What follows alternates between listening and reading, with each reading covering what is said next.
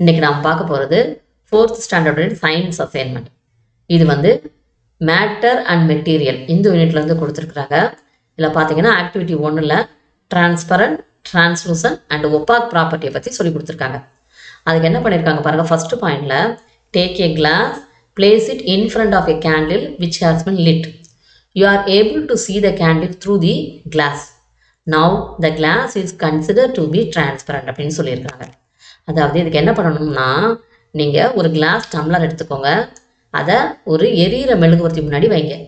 அப்போ உங்களால் இந்த மெழுகுவர்த்தியோட ஃப்ளேமை நல்லா பார்க்க முடியும். அப்படின்னா என்ன அர்த்தம்னா இந்த கிளாஸ் வந்து டிரான்ஸ்பரண்ட் கிளாஸ்னு அர்த்தம்.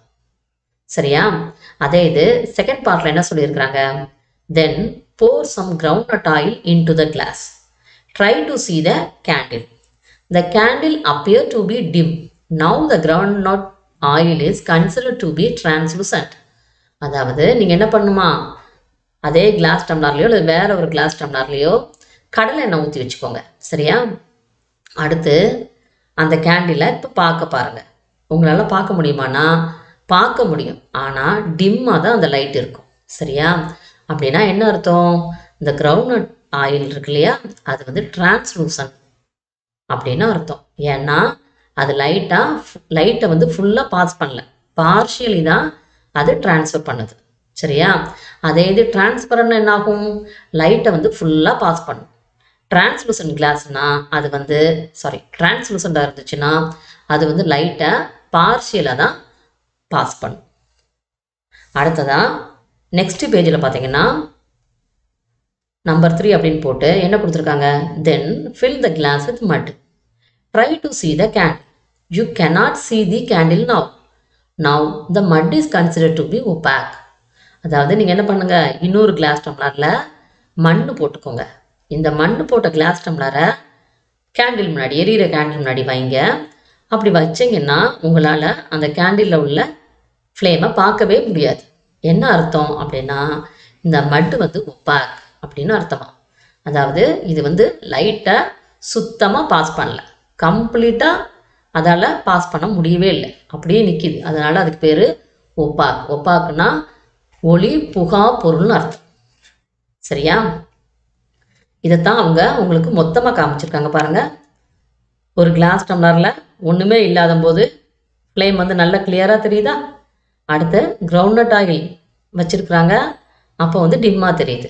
அடுத்ததாக இங்கே பாருங்கள் மட் போட்டிருக்காங்க. அப்போ வந்து ஒன்றுமே தெரியல.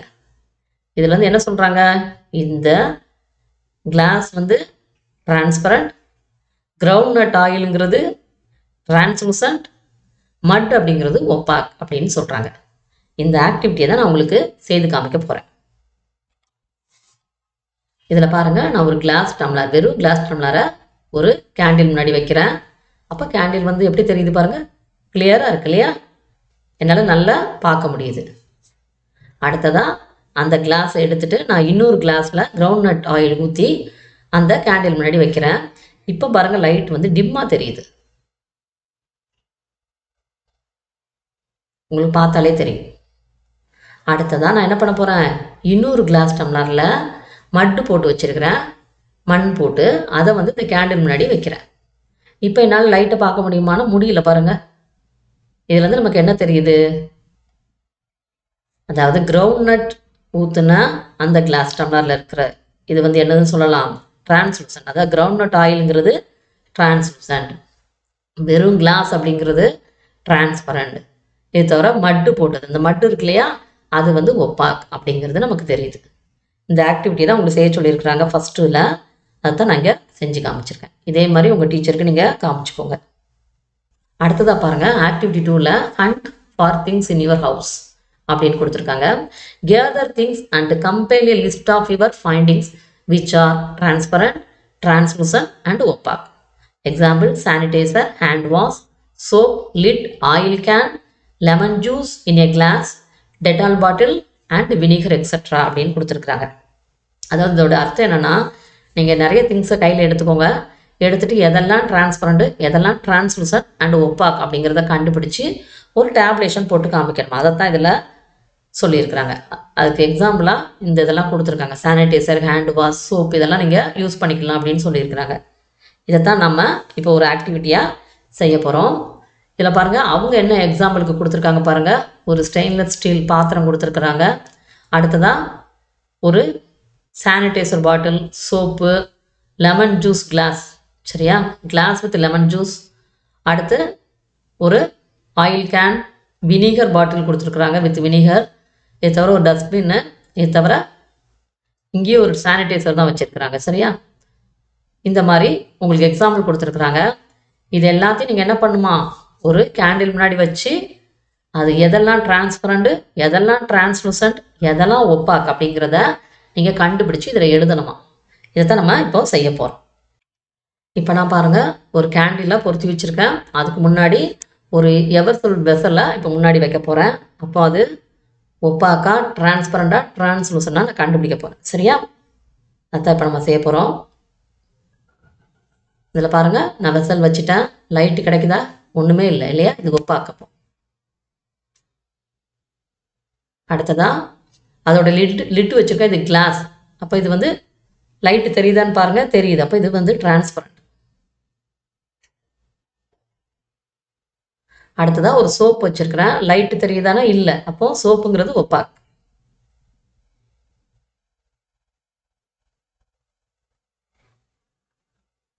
அடுத்ததா ஒரு ஷாம்பு பாட்டில் வச்சிருக்கிறேன். பிளாஸ்டிக் பாட்டில் தான். ஆனால் லைட்டு நமக்கு கிடைக்கல. ஸோ இது வந்து என்னது? ஒப்பாக்கு தான். அடுத்ததா லெமன் ஜூஸ் அது நான் வந்து கிளாஸில் வச்சுருக்கேன். இப்போ வந்து லைட் வந்து கொஞ்சமாக தெரியுது இல்லையா? அப்படின்னா லெமன் ஜூஸ் என்னது? ஒரு டிரான்ஸ்மிஷன் அர்த்தம். சரியா? அடுத்ததாக பாருங்கள் ஒரு டிரான்ஸ்பரண்ட் பிளாஸ்டிக் வச்சுருக்கிறேன். இப்போ எனக்கு லைட்டு கிளியராக தெரியுது. அப்படின்னா இது என்னது? டிரான்ஸ்பரண்ட் அடுத்து ஒரு பிளாஸ்டிக் பாக்ஸ் வச்சுருக்கிறேன். லைட் இல்லை அப்படின்னா என்ன அர்த்தம்? இது வந்து ஒப்பாக்குன்னு அர்த்தம். சரியா? அந்த பிளாஸ்டிக் பாக்ஸ் வந்து ஒப்பாக்குன்னு அர்த்தம். அடுத்ததான் ஒரு டொமோட்டோ வைக்கிறேன். இப்போவும் எனக்கு தெரியல. சரியா? அப்பவும் இது opaque tomato is the opaque next ஒரு பிளாஸ்டிக் டாய் வைக்கிறேன். லைட்டு தெரியல. ஸோ டாய் வந்து ஒப்பாக் இந்த மாதிரி நான் இந்த ஆக்டிவிட்டியை செஞ்சுருக்கேன். இப்போ இதில் செஞ்சதை நான் லிஸ்ட் அவுட் பண்ண போகிறேன் இப்போ நம்ம செஞ்சோம் இல்லையா ஆக்டிவிட்டி அந்த ஆக்டிவிட்டியில் நம்ம என்ன கண்டுபிடிச்சோம் அப்படிங்கிறத நான் இதில் எழுதியிருக்கேன். இப்போ பாருங்கள் டிரான்ஸ்பரண்ட் அப்படின்னு பார்த்தீங்கன்னா இதெல்லாம் வந்துச்சு நமக்கு. கிளாஸ் லிட் வச்சு இல்லையா? அப்புறம் ஒரு பிளாஸ்டிக் டிரான்ஸ்பரண்ட் கண்டெய்னர் நான் ஒன்று வச்சேன் இல்லையா? அது ரெண்டுமே டிரான்ஸ்பரண்ட்டுக்கு எக்ஸாம்பிள் அடுத்து பாருங்கள் டிரான்ஸ்லூசன்ட் என்னென்னா லெமன் ஜூஸ் ஓகேவா அடுத்து ஒப்பாக் அப்படின்னு பார்த்தீங்கன்னா குக்கிங் பேன் வந்துச்சு soap shampoo plastic box tomato போனிட்டாய் இது எல்லாமே வந்துச்சு. இதுதான் நீங்கள் எக்ஸாம்பிளாக வைக்கணும் அவசியம் இல்லை. நீங்கள் வேறையும் எடுத்து நீங்கள் என்ன பண்ணுங்கள் அந்த ஆக்டிவிட்டியை செஞ்சு பாருங்கள் அடுத்ததாக பாருங்கள் ஆக்டிவிட்டி த்ரீயில் the word ambulance is written in reverse in an emergency vehicle discuss and write why நீங்கள் பார்த்தீங்கன்னா ஆம்புலன்ஸ் வேனில் ஆம்புலன்ஸுங்கிற இந்த இது வந்து எப்படி எழுதியிருப்பாங்கன்னா ரிவர்ஸில் எழுதியிருப்பாங்க. சரியா? அது ஏன் அப்படிங்கிறத நீங்கள் சொல்லணுமா? அதோட ரீசன் எழுதியிருக்கணுமா? அதுதான் நான் இப்போ ஒரு ஆக்டிவிட்டியாக உங்களுக்கு செய்து காமிக்க போகிறேன் இதில் பாருங்கள் நான் ஆம்புலன்ஸ் அப்படிங்கிறத ஒரு பேப்பரில் எழுதி வச்சிருக்கிறேன். சரியா? இது சாதாரணமாக நம்ம எழுதுகிற மாதிரி. இதை போய் நான் என்ன பண்ண போகிறேன் ஒரு மிரரில் காமிக்க போகிறேன் சரியா? இப்போ பாருங்க இது எப்படி தெரியுது? மாறி தெரியுது. ரிவர்ஸில் தெரியுது இல்லையா? இப்போ அதே ரிவர்ஸில் உள்ளதை நான் ஒரு பேப்பரில் எழுதியிருக்கேன். சரியா? இப்போ இதை கொண்டு போய் நான் கிளாஸில் காமிச்சேன்னா மிரரில் காமிச்சோன்னா எனக்கு எப்படி கிடைக்குது பாருங்க ஆம்புலன்ஸுங்கிறது நம்ம எழுதின மாதிரியே கிடைக்குது. இது ஏன் அப்படிங்கிறது தான் நான் இப்போ உங்களுக்கு சொல்ல போகிறேன் ஏன்னா the image of everything in front of the mirror is reflected backward retracing the path it traveled to get there. Nothing is switching left to right or up and down அதாவது ஒரு மிரரில் ஒரு பொருள் படும்போது அதில் ஒரு உருவம் கிடைக்கும் இல்லையா? அதை தான் நம்ம என்னன்னு சொல்லுவோம்? இமேஜ் அப்படின்னு சொல்லுவோம். சரியா? அது நமக்கு ஒளி பிரதிபலிக்கிறதுனால தான் கிடைக்கும். இது இதைத்தான் நம்ம க கண்ணாடியில் நம்ம பார்க்குறோம் சரியா? இதில் நமக்கு என்ன தெரியுது? இடப்புறம் வந்து வலதுபுறமாக தெரியுது. சரியா? அதைத்தான் நீங்கள் இதில் ரீசனாக சொல்லணும். அடுத்ததாக ஆக்டிவிட்டி ஃபோர் பார்க்கலாம். மெட்டீரியல் ரெக்யூர் அப்படின்னு சொல்லியிருக்காங்க பாருங்கள் soap rope feather stone emery paper paper log steel அப்படின்னு கொடுத்துருக்காங்க. Find out the things number one list out the soft things second one list of the hard things அப்படின்னு கொடுத்துருக்காங்க. அதாவது முதல்ல உங்களுக்கு ஹார்ட் மெட்டீரியல்னா என்ன சாஃப்ட் மெட்டீரியல்னா என்னன்னு தெரிஞ்சுக்கணும். சரியா? ஹார்ட் மெட்டீரியல்னா என்ன? Material which cannot be easily compressed cut bent or scratched. They are called hard material சரியா? அதே இது material which can be easily compressed cut bent or scratch they are called soft material சரியா? இதுக்கு example உங்கள் புக்கில் கொடுத்துருக்காங்க பிரிக் phone ஸ்டீல்னு அடுத்ததாக foam clay skin இது புக்கில் உள்ளது சரியா? இப்போ உங்கள் ஆக்டிவிட்டியில் இந்த பிக்சர்ஸ் எல்லாம் கொடுத்துருக்காங்க. இதில் ஃபஸ்ட்டு ஒன் ரோப் இது என்னது? சாஃப்ட் மெட்டீரியல் ஏன்னா அது வந்து என்ன பண்ண முடியும்? பெண்ட் பண்ண முடியும் இல்லையா? பெண்ட் பண்ண முடிஞ்சால் அது என்னது? சாஃப்ட் மெட்டீரியல் ஓகேவா அடுத்து சோப்பு சோப்பு வந்து ஹார்ட் மெட்டீரியல் அடுத்ததான் லாக் மரக்கட்டைன்னு சொல்லுவீங்க இல்லையா? அதுதான் ஹார்ட் மெட்டீரியல் அடுத்து ஸ்டீல் அது எல்லாருக்கும் தெரியும் ஹார்ட் மெட்டீரியல் அடுத்து இது வந்து என்னது? அலுமினியம் ஃபாயில் இல்லையா? Soft material emery paper soft material இல்லை ரெண்டையுமே நம்ம என்ன பண்ண முடியும்? பெண்ட் பண்ண முடியும் இல்லையா? சுற்றி தானே வச்சுருக்குறாங்க. அது மாதிரி இதையும் நீங்கள் மடித்து வைக்கலாம் ஃபோல்டு பண்ணலாம். அடுத்து ஸ்டோன் எல்லாமே ஹார்ட் மெட்டீரியல் ஃபெதர் அப்போ அது என்னது? ஹார்ட் மெட்டீரியலா சாஃப்ட் மெட்டீரியல்னா சாஃப்ட் மெட்டீரியல் சரியா? இது உங்கள் எல்லாத்துக்கும் தெரியும். அடுத்ததான் evaluation list out some hard and soft things used in your உங்கள் வீட்டில் நீங்கள் யூஸ் பண்ணுற சாஃப்டான பொருள் ஹார்டான பொருள் என்ன பண்ணணுமா? இங்கே எழுதணுமா? அதுதான் நம்ம இப்போ செய்ய போகிறோம் இதில் பாருங்கள் நான் வந்து ஹார்ட் மெட்டீரியல் சாஃப்ட் மெட்டீரியல்னு ரெண்டு எழுதியிருக்கேன். ஹார்ட் மெட்டீரியல் அப்படின்னு பார்த்தீங்கன்னா wooden furniture steel furniture stainless steel kitchen items bricks tiles mobile phone இது எல்லாமே நம்ம வீட்டில் யூஸ் பண்ணுறோம் சரியா? அடுத்து சாஃப்ட் மெட்டீரியல் அப்படின்னு பார்த்தீங்கன்னா flower foam bed cushion soft toys eraser bedsheet sandals அப்புறம் பேப்பர் இது எல்லாமே எனது சாஃப்ட் மெட்டீரியல் இந்த ஆக்டிவிட்டி தான் அவங்க செய்ய சொல்லியிருக்கிறாங்க. அதுதான் நான் செஞ்சுருக்கேன். இதில் ஹச் மிஸ் ஆயிருந்துச்சு. நான் இப்போ அந்த ஹச் போட்டிருக்கேன். நீங்கள் கரெக்டாக எழுதிக்கோங்க. அடுத்ததான் நெக்ஸ்ட் பேஜில் உள்ள ஆக்டிவிட்டி பார்ப்போம். ஆக்டிவிட்டி ஃபைவ்னு கொடுத்துருக்காங்க. இதில் பாருங்கள் மெட்டீரியல் ரெக்யூர்ட் அப்படின்னு சொல்லிட்டு torch light wood water bottle glass mirror எல்லாம் கொடுத்துருக்காங்க. அதில் ஃபர்ஸ்ட் என்ன கொடுத்துருக்காங்க? Lighting the torch light through water full tumbler second one lighting the torch light through oil filled bottle third one take a break and hit the torch light on it அப்படின்னு சொல்லியிருக்காங்க. அதாவது நீங்கள் என்ன பண்ணணுமா? ஒரு தண்ணி டம்ளருக்கு முன்னாடி டார்ச் லைட் அடித்து பார்க்கணும். அடுத்ததாக எண்ணெய் ஊற்றின பாட்டில் இருக்கு இல்லையா? அதுக்கு முன்னாடி டார்ச் லைட் அடித்து பாருங்கள் அடுத்ததாக ஒரு செங்கல். செங்கல் எடுத்து அது மேலே டார்ச் லைட்டை என்ன பண்ணுங்க? அடிச்சு பாருங்கள் அடிக்கிறதுனா அதில் போய் அடிச்சிடாதீங்க. முன்னாடி காமிங்க. சரியா? அப்போ என்ன நடக்குது அப்படிங்கிறத தான் என்ன சொல்லியிருக்காங்க? ரெக்கார்ட் யுவர் அப்சர்வேஷன் என்ன நடக்குது அப்படிங்கிறத நீங்கள் கவனிச்சுக்கணுமா? சரியா?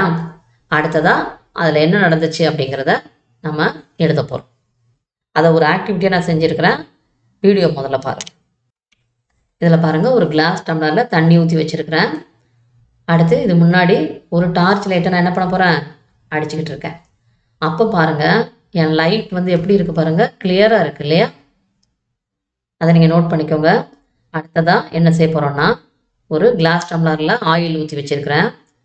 இப்போ அது முன்னாடி டார்ச் லைட்டை நான் அடிக்கிறேன். இப்போ லைட்டு எப்படி இருக்குது பாருங்கள் இதையும் நீங்கள் நோட் பண்ணிக்கோங்க. கடைசியாக நான் ரிசல்ட்டு சொல்கிறேன் அடுத்ததாக தேர்ட் ஆக்டிவிட்டி என்ன கொடுத்துருந்தாங்க நமக்கு? ஒரு செங்கல் வச்சு பண்ணுங்க அப்படின்னு சொன்னாங்க. எனக்கு செங்கல் கிடைக்கல. அதனால் நான் கல் வச்சுருக்கேன் சரியா? ஒரு ஸ்டோன் வச்சுருக்கேன்.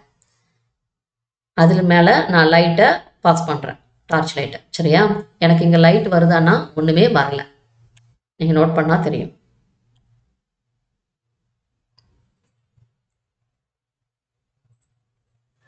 இதோட ரிசல்ட்டை தான் இப்போ நம்ம எழுத போகிறோம் அதாவது நம்ம எக்ஸ்பெரிமெண்ட் பண்ணோம் இல்லையா? அதில் வந்து நம்ம கண்டுபிடிச்ச விஷயம் என்ன? அதாவது நான் வந்து ஒரு தண்ணி வச்ச கிளாஸ் டம்ளர் வழியாக லைட்டு அடித்தேன்னா எனக்கு வந்து கிளியராக கிடைச்சது இல்லையா? அப்போ என்ன அர்த்தம்? இது வந்து டிரான்ஸ்பரண்ட்னு அர்த்தம். அடுத்ததாக ஆயில் வச்சுருந்தேன் இல்லையா? அதில் அடிக்கும்போது அவ்வளோ கிளியராக இல்லை. ஆனால் லைட் வந்துச்சு. ஆனால் ரொம்ப கிளியராக எனக்கு வெளியில் வரல இல்லையா? அதனால் இது வந்து டிரான்ஸ்லூசன் அடுத்ததாக ப்ரீக் வழியாக நம்ம அடிக்கும்போது அது நான் இங்கே எடுத்து ஸ்டோன் வச்சுருந்தேன் இல்லையா? அதில் எனக்கு லைட்டே வரல. அப்படின்னா என்ன அர்த்தம்? ப்ரீக் வந்து ஒரு ஒப்பாக்குன்னு அர்த்தம். சரியா? அதாவது இதைத்தான் இங்கே இவால்வேஷன் அப்படின்னு சொல்லி கொடுத்துருக்காங்க. First one material allowing light to penetrate completely is transparent object second one things that allow only a small amount of light is translucent object third one do not allow full light to pass through is opaque object அப்படின்னு கொடுக்கணும். அதுதான் நான் எழுதியிருக்கேன். சரியா? அதாவது ஒரு பொருள் வழியா லைட்டோடைய ஒளி அதாவது இந்த டார்ச் லைட்டோட ஒளி முழுவதும் போச்சுன்னா அது வந்து டிரான்ஸ்பரண்ட் அந்த பொருள் வந்து டிரான்ஸ்பரண்டான பொருள். சரியா? செகண்ட் என்னன்னா இந்த மாதிரி நம்ம வந்து ஆயில் ஏதாச்சும் எடுத்து அது வழியாக லைட் வந்து முழுவதும் போகாமல் பகுதியளவு மட்டும் கசிஞ்சு வெளியே வந்துச்சுன்னா அதுக்கு பேர் டிரான்ஸ்லூசன்ட் அதாவது அந்த ஆயிலுக்கு பேர். அடுத்ததாக ஒரு பொருள் வழியாக ஒளி சுத்தமாக போகலை அப்படின்னா இந்த பொருள் இருக்குது பார்த்தீங்களா இதுக்கு பேர் ஒப்பாக். ஒளி புகா பொருள்னு அர்த்தம். இதைத்தான் இங்கே எழுதியிருக்காங்க. சரியா?